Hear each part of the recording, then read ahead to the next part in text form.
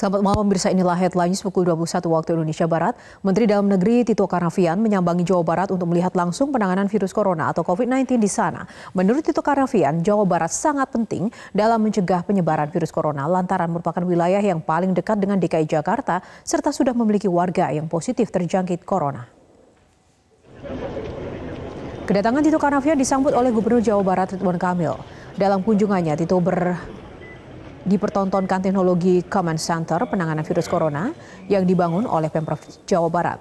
Command Center tersebut menampilkan peta penyebaran virus corona bahkan terkoneksi dengan 5.000 RW, sehingga pemantauan terhadap penularan virus corona bisa langsung diterima dengan cepat. Menteri Tito Karnavian mengapresiasi langkah pemerintah Jawa Barat membangun Command Center ini.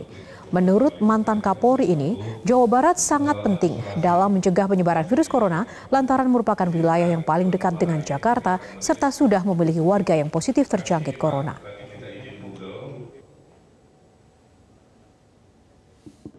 Saya harus ke Jawa Barat, ke Bandung ini, karena kita tahu bahwa Jawa Barat ini juga dekat dengan Jakarta,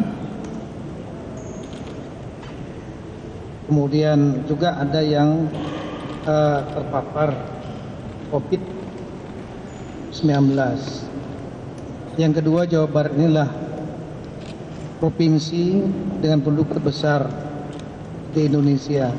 Kita ketahui bahwa COVID-19 ini sudah masuk ke Indonesia di beberapa wilayah termasuk di Jawa Barat. Oleh karena itu langkah kita adalah bagaimana kita untuk membendung penyebaran atau penularannya.